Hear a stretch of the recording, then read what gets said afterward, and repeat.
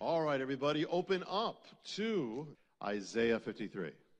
Today, we're going to be doing something a little different, delving into it or opening up of Isaiah 53. This is called the Isaiah 53 Levitical Mysteries, and this is part one. First of all, let's begin verse 1. Who has believed our message, and to whom has the arm of the Lord been revealed? He grew up before him like a tender shoot, like a root out of dry ground. He has no stately form or majesty that we should look upon him, or appearance that we should be attracted to him. He was despised and forsaken of men, a man of sorrows and acquainted with grief, and like one from whom men hide their face, he was despised, and we did not esteem him. Surely our griefs he himself bore, our sorrows he carried. But we ourselves esteemed him stricken, struck of God, and afflicted. There's a word in Hebrew that means to carry or lift up. And the word is nasa. Try it. It's pretty much like NASA, you know, but nasa. And it appears in the book of Leviticus. And it's about carrying, particularly carrying sin. Leviticus 5:17 says if a soul sins and commits any of these things which are forbidden, he is guilty and shall bear his iniquity.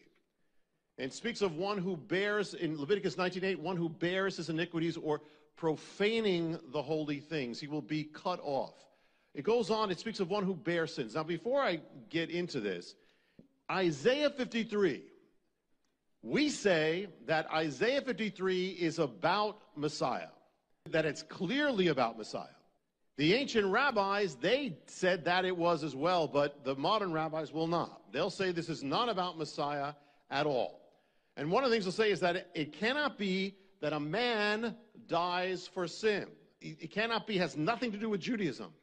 And what we say is it has everything to do with the Jewish faith. The whole biblical faith is all about sacrifices leading up to something.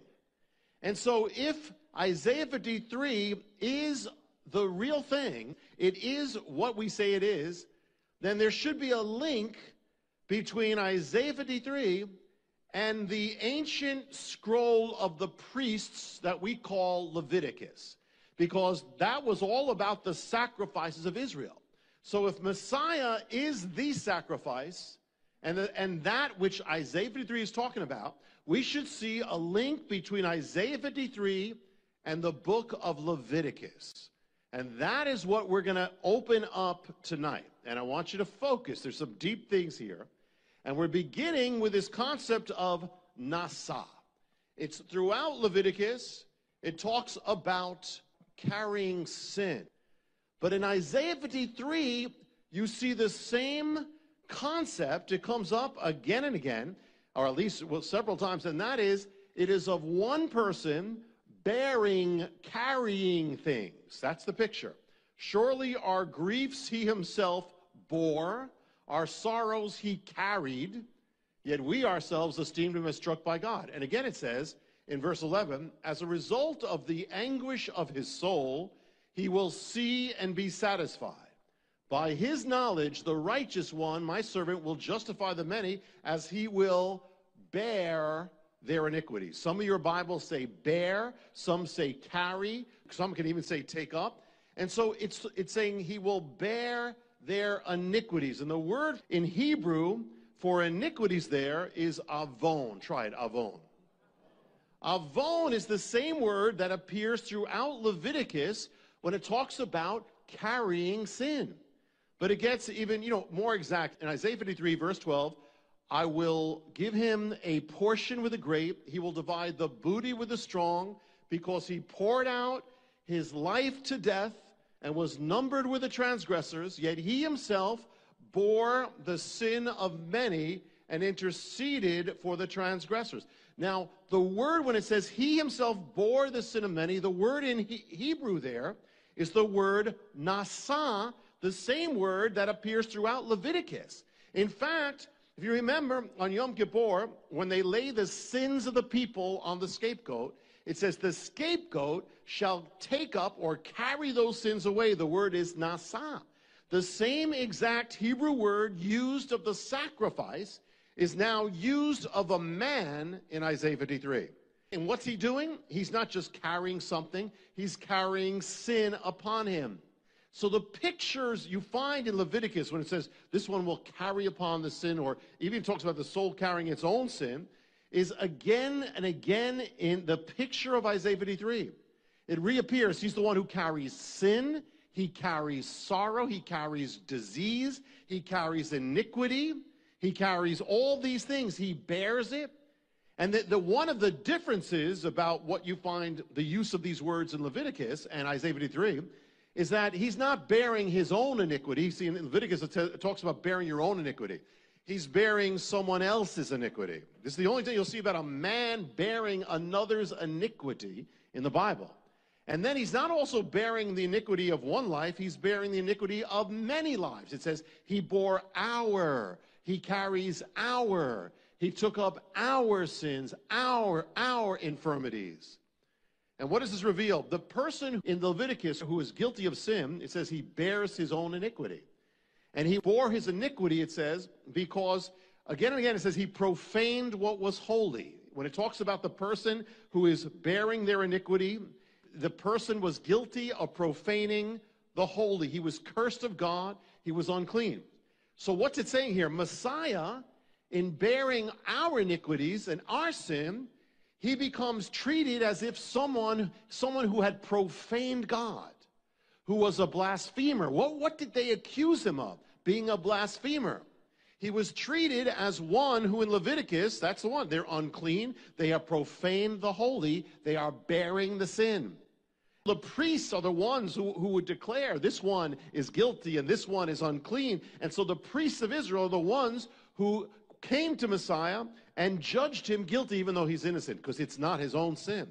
But whoever bears the sin becomes as one who has profaned God. And what else happens in Leviticus when it talks about the soul that shall bear its own sin or the one who's guilty? It says that one shall be cut off from his people. Some of them would be cut off out of the camp. They'd be outside, or some until they were clean, or some just cut off. So Messiah is now that person. It's the same language, except he's not guilty. He's taken it for us.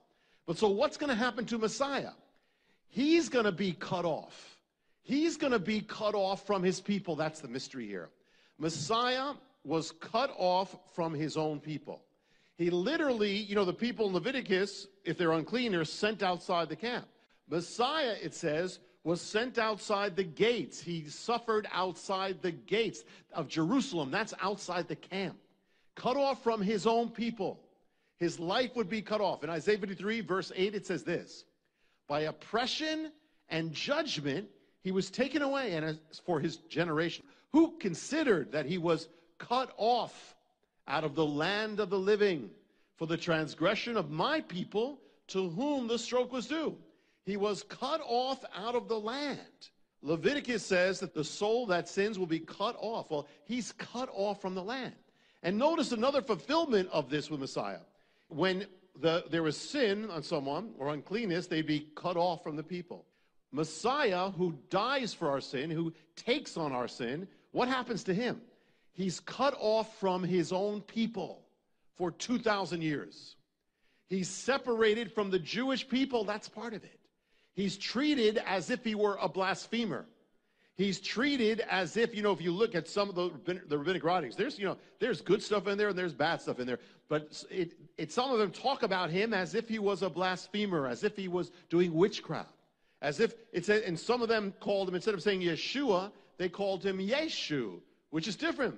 They said Yeshu because it was an anagram of may his name be cut off. Cut off. May he be blotted out. And that's exactly what's happened. That's part of the mystery, too. The one who has the sin upon them is cut off from the people. So that's why Messiah, for 2,000 years, has been cut off from his people. Not because he had any sin, but because he bore the sin of his people. It's amazing. And it's amazing, too, because the Jewish people have had, the rabbis have had other messiahs in their own mind, false messiahs, and yet they haven't been cut off. The one was called Shabbatai Zevi, one of the biggest false messiahs. And he was in the year around 1666, and he rose up. He said he's the Messiah, and that people started following him all over. Rabbis hailed him. He, he, this wave of hysteria swept through Europe and the Middle East. He claimed to be Messiah, but then he started acting weird. He, he had a ceremony where he married a Torah scroll, and he started doing strange things. But then what happened is the Sultan of Turkey, the Ottoman Empire, said, You know, we don't like this. We're going to arrest him. They arrested him. And they said, You know, you have a choice.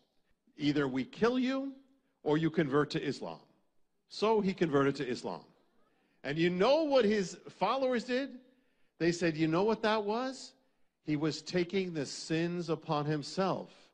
He was fulfilling Isaiah 53 as becoming a sinner, but he was a sinner. And some of them still followed him for a long time. And, and there are people who are false who are still not cut off from Israel. You know, they're still even hailed. There's another one, Bar Kokhba was hailed as a Messiah, and he's hailed to this day as a hero. And they're not cut off, but you know, Yeshua is cut off more than anyone. You know, you can be Jewish and you can believe, you can be an atheist, Jewish, you're still Jewish. You can be you can be into Eastern Eastern gods and reincarnation, paganism, Jewish. Fine, no problem with that. Believe in a Jewish rabbi born in a Jewish town to a Jewish mother, fulfilling the Jewish prophets with a Jewish name, and suddenly you're not Jewish.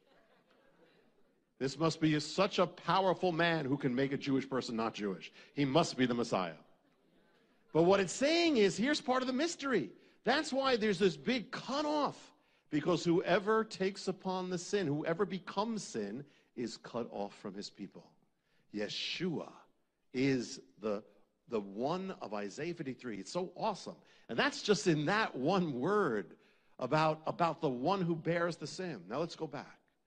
Leviticus. Back, actually, let's go back one step before Leviticus. It all flows together. Exodus 12. It says, You shall, Passover, you shall take a bunch of hyssop, dip it in the blood of the lamb in the basins, and you will strike the lintel and the two side posts of the door with the blood that's in the basin. And none of you will go out the door of the house until morning. Of course, this is Passover. God tells them, and this, this sacrifice is the sacrifice really behind all the sacrifices.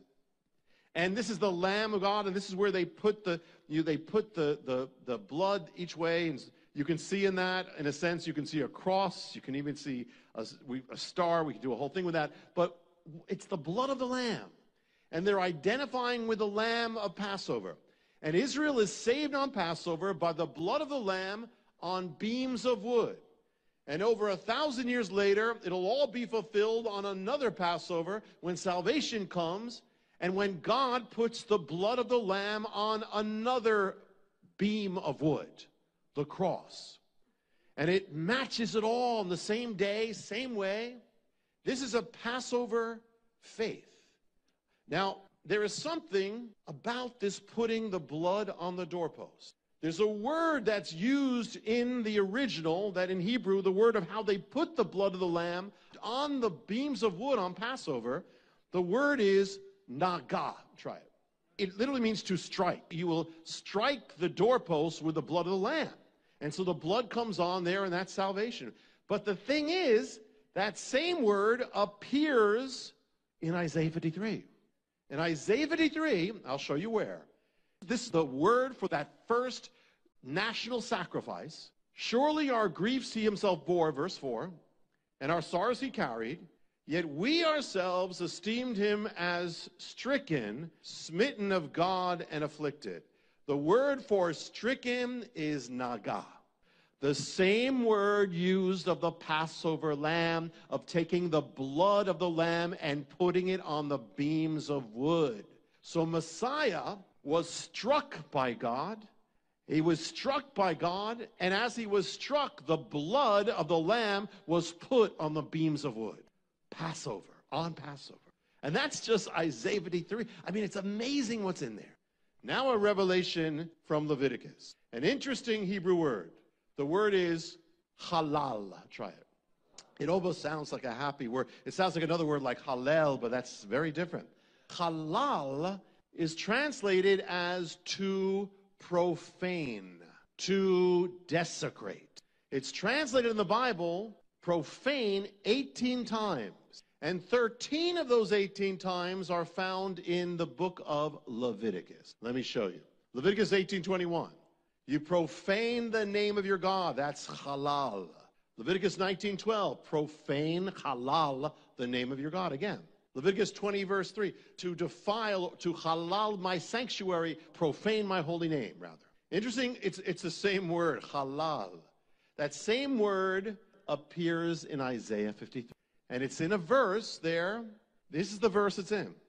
He was wounded for our transgressions. When it says he was wounded, that's halal. The same word in Leviticus that speaks of profaning the name of God. Amazing, you could translate this as he was profaned. He was wounded, yeah, but he, you could translate it, he was profaned for our transgressions. Wow a revelation into what happened. He is the Word of God, and he was profane. You can only profane that which is holy. He is holy. He's the Holy One of Israel. In Leviticus 19, 18, it says, Because he has profaned the holy thing of the Lord, well, he is the Holy One of the Lord. So the word is used of profaning the word of God. Messiah is himself. He's wounded. It means that too in here. But Messiah is also profaned. He's desecrated. He's stripped. He's mocked. He's denigrated. He's treated as unholy. He's treated as vile, as stripped, naked, hung on a cross. He's profaned for our transgressions. That's what sin does to God. Leviticus is filled with a word avon. Try it. Avon is the word for iniquity. And sacrifices always had to do, or often do, you hear that the words together, iniquity, avon. And so many of these things speak of, with sacrifice, speak of the word avon, iniquity. And that's also where it says the soul shall bear iniquity, avon, avon. Leviticus, all over.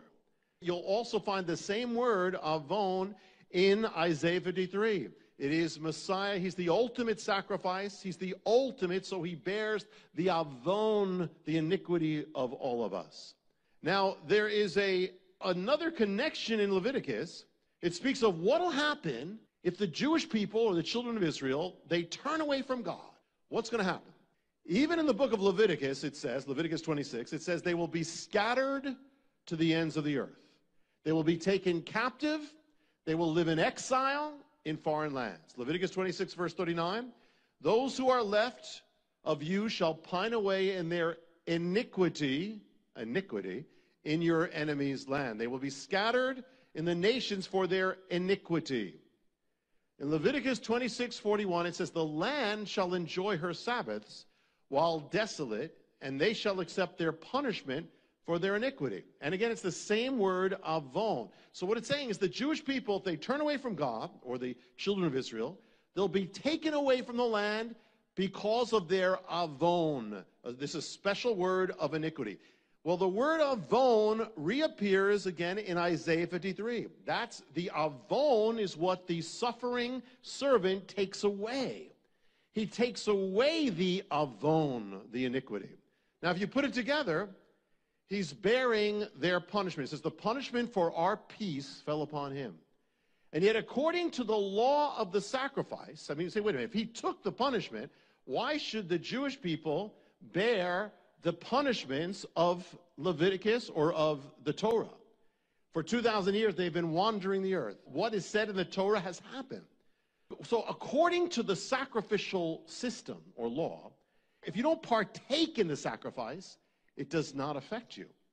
If a sacrifice dies for your sins, but you don't partake in that, it's as if it didn't die for your sins. It has no effect. So it took your punishment, but it does you no good because you're going to take your own punishment. I mean, that's true in every way. If the sacrifice takes away the punishment of your iniquity, but you don't take any part in it, then you bear your own punishment. Leviticus says that if you profane the sacrifice, you will bear your own iniquity. So what happens? Messiah dies, and this is deep, and I want you to focus. That Messiah dies as the sacrifice to bear the punishment of iniquity, and that's for everybody, but it starts with Israel. But it's everybody, but Israel, that even manifests itself in this world. If Israel as a nation, of course, many Jewish people accepted Messiah, but as a nation, if it as a nation rejects the sacrifice, what's going to happen to Israel? It's going to bear its own iniquity. It'll bear what he bore, in a sense. So, what happens? Within 40 years of the sacrifice of Messiah, during which time Israel turns away, by and large, the nation of Israel is taken from the land, is scattered to the nations in exile, an exile that lasts for 2,000 years at least. You know, they say, you know, it's sometimes speaking to Orthodox Jews, say, you know, in 586 BC, the Jewish people were sent into exile because they were worshiping Baal, they were offering up their children as sacrifices, they were doing horrible things, they were taken away for 70 years in Babylon. So, what was it that happened 2,000 years ago that has led the, the children of Israel to be taken away from the land, not for 70 years, but for 2,000 years? Not to one land, but to every land. It had to be something bigger that happened in the first century. What this is saying, it's a mystical thing in a sense, but a very deep thing, that what the Jewish people have gone through, Messiah died for it already. But if you don't accept it, if you don't take part in it, you'll bear your own. And so what it means is, in a sense, the Jewish people, even in, in being sent into the nations, they are still joined to Messiah in a strange way. Because in a sense, there's a, there's a similarity between his suffering and their suffering. You know, Paul said that the gospel is to the Jew first and also to the Gentile. But he says also judgment comes to the Jew first and also to the Gentile. You know that? One rabbi even wrote in the Middle Ages, he wrote this listen.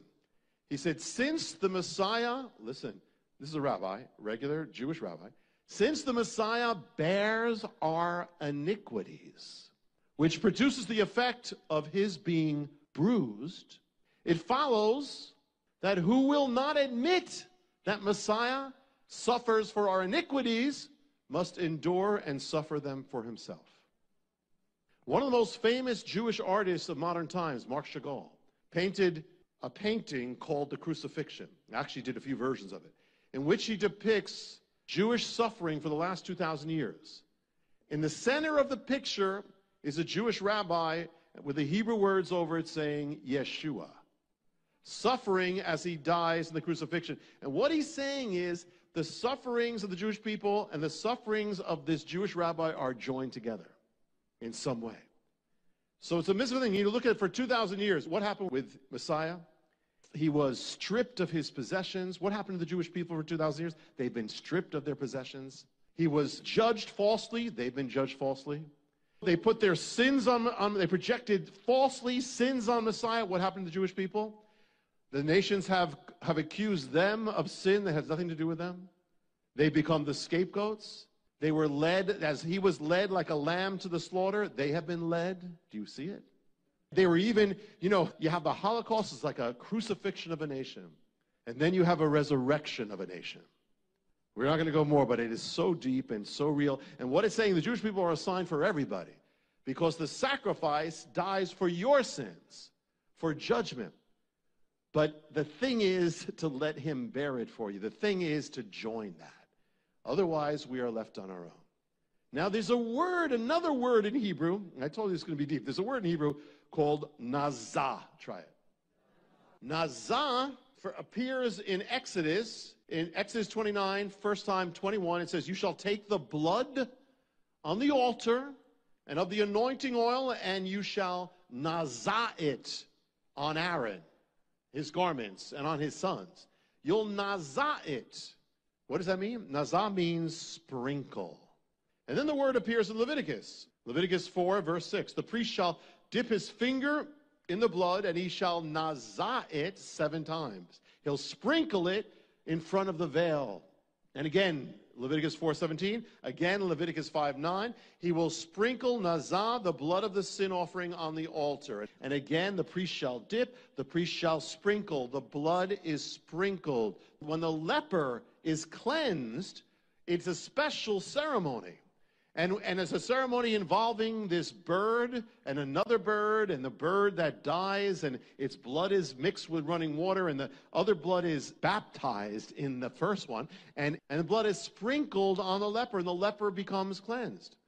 The Levites were called to be separated from the rest of Israel. They were the ministers of Israel. How did they become separated? In Numbers 8, it says, Take the Levites from the children of Israel, cleanse them, and then nazah them, sprinkle them, purify them. There's the word nazah comes up with a law of, remember the law of the red heifer, which again is about, is being cleansed from, from death, from defilement of death. A clean person would be sprinkled and would be cleansed by being sprinkled. And then comes really the most central moment of Nazah, which is Yom Kippur. Yom Kippur, the holiest day of the year, it says the priest takes the blood, and what does he do? He nazaz it on the Ark of the Covenant, on the mercy seat. That's nazah. He sprinkles it. The high priest, and that's when the sins are forgiven. Now we go back to Isaiah 53 and this mystery of this person who's going to come, but actually go back one chapter before. It's all the same prophecy. Isaiah 52 13. Behold, my servant shall prosper. He shall be very high and lifted up. Just as many were astonished at you, his appearance was marred before more than that of man, and his form more than the sons of men. So he shall nazah he shall sprinkle many nations. Whoa. What is this? What is he sprinkling? It doesn't give any explanation. Nothing. What is this about? It's nazah, same word. In Leviticus, same word. In the sacrifice, same word. He will sprinkle. He will sprinkle. It has to do with Leviticus originally. It has to do with cleansing. It has to do with people becoming priests. Like they, but now it's Messiah doing it. It has to do with the sacrifices because he is the sacrifice. But here he's not just sprinkling an altar, he's sprinkling the nations. He's not just sprinkling one thing. I mean, can imagine, how do you sprinkle the nations? That's how that's what he's doing. What does it mean? He, Messiah, shall sprinkle many nations with what? The only thing that that was really nazah, the main thing was blood, with his own blood. It's done before the veil of the sanctuary. So he's the one who opens up the veil and gives entrance for people to enter into the veil. By his blood he shall sprinkle. The Nazah was the, the offer, the blood of the sin offering. He shall sprinkle many nations that he cleanses them of sin. What does it mean? It's also linked to the healing of the leper or the cleansing of the leper. What's it saying? Who are the lepers? They're the outcasts. They're the ones who are rejected by everybody else. They're the cut off ones. They're the ones who are sick and not whole. But what it's saying in Messiah, he will sprinkle the lepers of many nations. He will sprinkle the one who is outcast and rejected and bring them inside. And those who were rejected are now accepted. And those who were unclean become clean. And those who were broken become whole by the sprinkling of many nations. What else is that?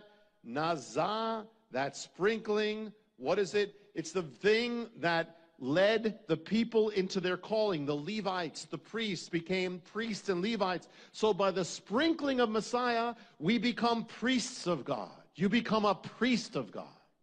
It's the power, because what it did is it separated you from everything else. It's the blood of Messiah that separates you from your past, from your sins, from your uncleanness, and makes you worthy to become a priest of God, to be separated. And what is it also about? The sprinkling, the nazah happened with that red heifer. It's about being cleansed from the power of death.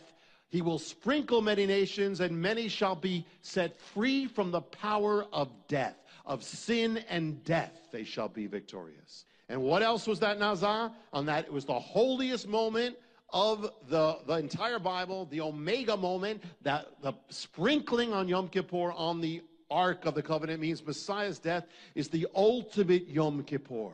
It's not just for one people, it's not just for one place, it's for all people. He shall sprinkle many nations. And that, that Yom Kippur blessing, that's what opens up the veil, that's what opens up the entrance. That's the heart, that's the power of every breakthrough through of every obstacle from God. So he shall sprinkle many nations. Now we just looked at just a few Hebrew words. And we just looked at Isaiah 53. There's a whole nother thing we'll do another time, but, but we're going to just kind of bring this together now. But this is what's there.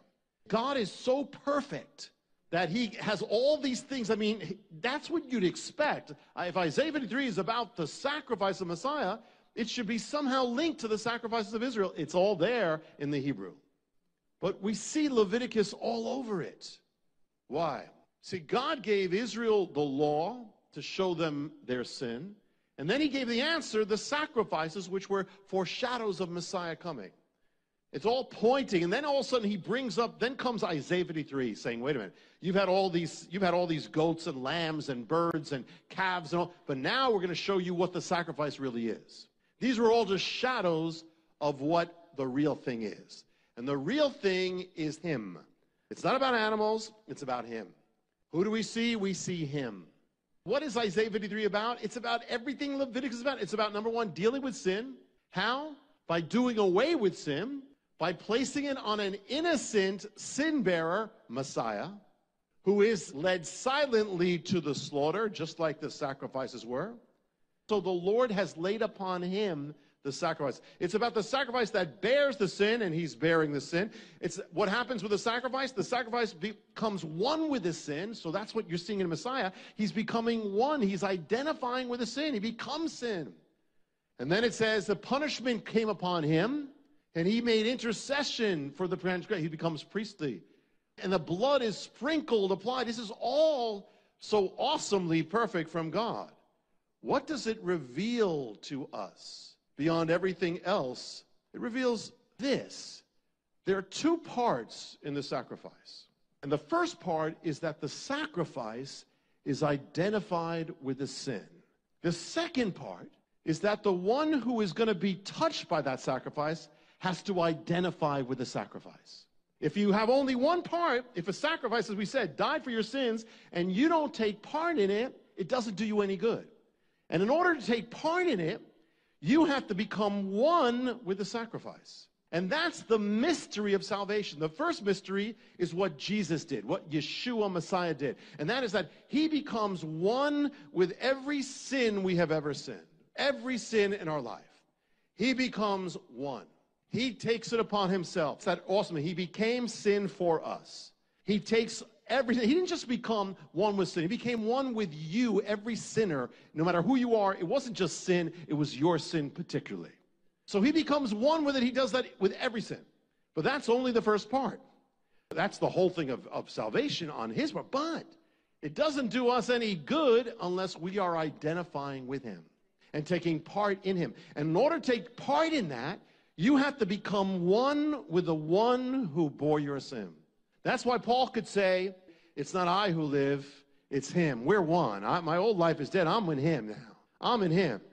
He became one with us, but now it's complete when we become one with him. And that's when the power comes. Think about it. When you get saved, that's what you're doing. You're saying, Jesus, you didn't just die for sin, you died for my sin. 2,000 years ago, he died for your sin. But when, when you accept it, it becomes one. That's it. That's when salvation comes. You say, Lord, that was me on the cross. That was me. And so th- that's when salvation comes. But the key is that's not just salvation coming, that's when the power to live with all the blessings of salvation come the more you become one with Him. The more you partake of it, the more the power becomes one for your life. That's the key. It's not just he died and he died, but it's specifically my sin. And not only that, Lord, I'm not separate from you anymore. I am one with you. You identified with me, and now I'm identifying with you. And you took my sin. Now I am one with your life. I am taking your righteousness. I am joining together because I'm one with you. You took all those things. I'm taking your reproach. I am receiving everything that you had. I'm going to be one with you. I'm going to care more about your reputation than my reputation. Because your reputation is my reputation. Your life is my life. Your righteousness is mine. So when I mess up, I can say, Lord, by the blood of Messiah, your righteousness is mine. By the blood of Messiah, your victory is mine. By the blood of Messiah, your breakthrough is mine. By the blood of Messiah, your power is mine. Your what is yours is mine. And so that everything that is mine is yours, and whatever is yours is mine. Lord, I give you everything. I give you my sins. I give you my shame. I give you my everything, so I'm not separate from you anymore. And everything that is yours, it is mine. That's the key. We are not just with him, we're in him. We are one with him. That's the majesty of salvation. We are one. And the key in salvation, don't live your life just next to him. And don't live your life like, you know, he's up there and I'm, yeah, he's up there in one sense. But the ultimate thing, he's got to be right here. And it's not just I have him in my life, it's me and him. We are as one. And that everything you do, do it with him. Everything you do, it's in him. You're not just living with him, you're living his life. When you talk, you want it to be him talking. When you're bearing something, let him bear it. Let him take it away. Whatever's separating you from each other, Lord, I don't want to be separate. We shall be one. You did everything that you did so there be no separation. So here is the, the incredible thing, and it's the secret of salvation, if you will, and that is that we are to live. It says the two shall be one. Whatever you do, even when you pray to Him, pray in Him. Let it be Him praying with you. He prays with us. Look at what He did. He's on the cross as us, and He's on the cross as you and me. And he's on the cross and he's crying out to God and he's saying, Why have you forsaken me? And he's saying, Well, how some people say, Well, how can it be God? Well, that's the incredibleness of it. Because what it means is that when you cry out and say, God, why are you far from me? He's with you crying out the same thing. And if he's with you crying out, then you're not far from God. So even that can't separate you from the love of God. What shall separate you from the love of God? Shall sin, shall trouble, shall whatever you've done? No, he's took it all. That's the incredibleness of God. He took it all. So even all those things, I mean, how can God take sin? But he did. So that even in sin, even in rebellion, you cannot be separated. He's taken it, but you got to take part of that and take it to yourself. So that whatever you do, the key is if he did all that to become one with you, then the least we can do is live our lives one with him. And so that means get into the joy of living in him, by him, through him that whatever you do, talk in his talking, move in his moving, touch in his touching, love in his loving, live in his life, feel in his feeling, think in his thoughts, be one with him because he was one with you. That is the joy, that is the power, because all those things, like the promises of the sacrifice, every promise, the peace, the, the breakthrough, the acceptance, the restoration, the healing, all those things will be yours as much as you are one with Him. The blessings will be yours. What an awesome, awesome, awesome God we have. What an awesome Messiah. Live as one with Him. You shall be blessed. Amen and amen.